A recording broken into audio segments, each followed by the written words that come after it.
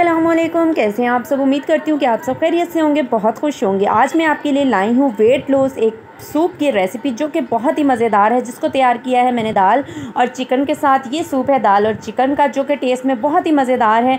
एक कॉन्सेप्ट बना हुआ है कि अगर वेट लूज़ करना है तो आपको उबले हुए फीके खाने खाने पड़ेंगे, लेकिन इस सूप के बाद आपका ये कॉन्सेप्ट जो है बिल्कुल गलत साबित होगा।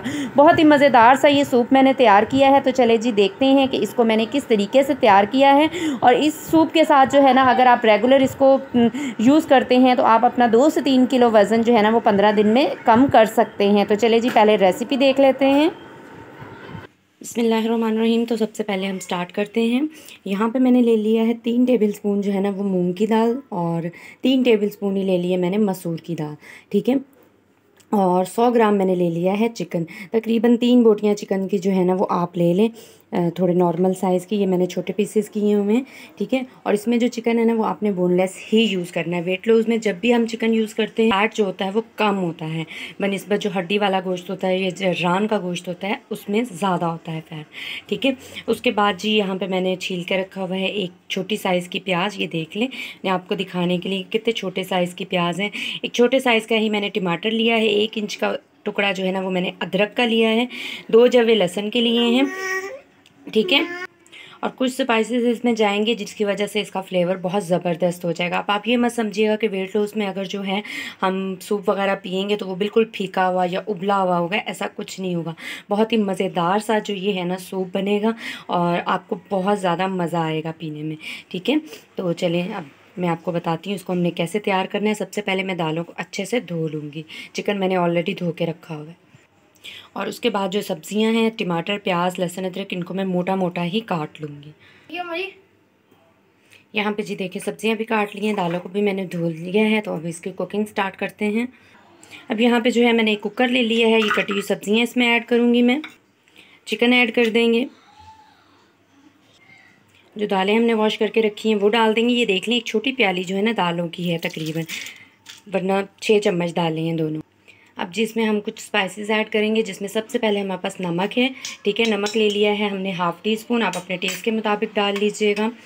और उसके बाद हम इसमें ऐड करेंगे हल्दी। हल्दी मैंने ली है वन फोर टी स्पून ठीक है? चौथाई चम्मच। और उसके बाद जी हाफ़ टी स्पून मैंने ले लिया है तिक्का मसाला। ठीक है तिक्के मसाले से जो है इसको बहुत अच्छा सा, बहुत ही मज़ेदार सा फ्लेवर आएगा, जिससे इसको आपको खाना जो है ना आपके लिए आसान हो जाएगा। ठीक है, आप चाहें तो तिक्के मसाला जो अपने टेस्ट के मुताबिक थोड़ा ज़्यादा भी कर सकते हैं, लेकिन इतना जो है ना सूप में इनफ होगा। उसके बाद हम इसमें शामिल कर देंगे। तीन कप के जितना जो है ना हम इसमें पानी ऐड कर देंगे। आप तीन से चार कप जो है ना आराम से ऐड कर दीजिएगा, कोई मसला नहीं है, ठीक है? अब मैं इसको चूल्हे पर चढ़ाऊँगी और जो है ना इसको हम पकाएँगे बीस मिनट के लिए, तकरीबन पंद्रह से बीस मिनट में जो है ना इसको हम चूल्हे पर पकाएँगे, वेट लगा के। ये देखें जी, तकरीबन मैंने वेट लगा दिया और तकरीबन पंद्रह मिनट के बाद मैंने इसको चेक किया था तो उसके बाद जी आप जो देख लें इसको कि ये इस टाइप का थोड़ा बन गया था, दाल बिल्कुल घुल गई थी चिकन भी अच्छे से गल गया था। अब मैं इसको थोड़ा सा ठंडा होने दूँगी, ठीक है? उसके बाद मैं आपको बताती हूँ इसका मैं क्या करूँगी। आपने जब भी कुकर इस्तेमाल करना है तो उसको बहुत सेफ्टी के साथ इस्तेमाल करना है, ठीक है? ये याद रखिएगा। उसके बाद जी ये दाल थोड़ी सी हमारी जो है ना वो ठंडी हुई थी। उसके बाद मैंने इसको ब्लेंडिंग जग में डाला और इसको मैंने एक मिनट के लिए ना, सिर्फ़ और सिर्फ़ एक मिनट के लिए या कुछ सेकेंड्स के लिए ना आपने इसको ब्लेंड कर लेना है। ये इस तरीके का इसका पेस्ट बन जाएगा। उसके बाद मैं इसको एक पैन में निकालूँगी।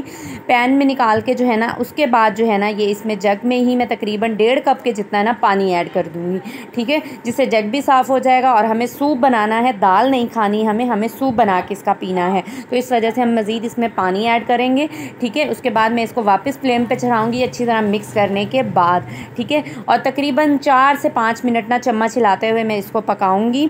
ठीक है, इस तरीके से जब आप सूप बनाएँगे ना तो आप देखिएगा कितना मज़े का बनता है। इसके साथ साथ जो है ना, सूप पीने के साथ साथ आपको पानी का इस्तेमाल बहुत ज़्यादा करना है। अपनी डाइट में पानी का, डेली का इस्तेमाल आप बहुत ज़्यादा कीजिएगा। और उसके अलावा या आप लंच में या डिनर में किसी भी एक टाइम पर रोटी के बग़ैर इसको पियेंगे ठीक है? उसके बाद जी यहाँ पर मैंने हाफ़ टी स्पून जो है ना वो काली मिर्च ऐड कर दी है और एक टेबल स्पून भर के लेमन का जूस ऐड कर दिया है, ठीक है? उसके बाद दो टेबल स्पून के जितना मैंने इसमें हरा धनिया ऐड किया ताकि इसको मज़ीद फ्लेवर मिले कलर मिले और मज़ीद इसकी खूबसूरती में इजाफा और खाने में भी ये मज़ेदार लगे, ठीक है? उसके बाद जी मैं तकरीबन ये तमाम चीज़ें डाल के एक मिनट तक इसको पकाऊँगी और उसके बाद जो है ना मैं इसका फ्लेम जो है ना वो बंद कर दूँगी। अच्छी तरह आपने इसको जो है ना पका लेना मीडियम फ्लेम पर ठीक है? फ्लेम आपने हाई नहीं रखना है, बिल्कुल मीडियम फ्लेम पर जो है ना आपने इसको अच्छे से कुक कर कर लेना है। तो मैं आपको बता रही थी कि आपने लंच या डिनर में एक टाइम रोटी स्किप करके ना इस सूप का इस्तेमाल करना है। अगर आप रात में करेंगे तो ज़्यादा आपके लिए ये फ़ायदा मंद होगा। देखिए, आप कितना मज़ेदार सा ये सूप तैयार हुआ है। अगर आप चाहते हैं कि मैं आपके साथ एक जो कंप्लीट डाइट प्लान शेयर करूँ पंद्रह दिन का, दस दिन का, जो मैंने खुद यूज़ किया है तो आप मुझे कमेंट में बताइएगा, मैं आपके साथ वो ज़रूर कर दूँगी।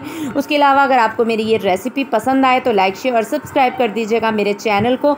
मेरी इस वीडियो को ज़्यादा से ज़्यादा शेयर कीजिएगा, ताकि ज़्यादा से ज़्यादा लोग इससे फ़ायदा उठा सकें। उम्मीद करूँगी कि आपको ये रेसिपी जो है ना, बहुत पसंद आएगी, और आप जो है ना अच्छे से वेट लूज़ कर सकेंगे। और वेट लूज़ करना जो है, हम सब का हक है तो हमें करना भी चाहिए। ठीक है तो ये बहुत हेल्दी सूप है, इसके कोई नुकसान नहीं आप डेली भी इसको यूज़ कर सकते हैं।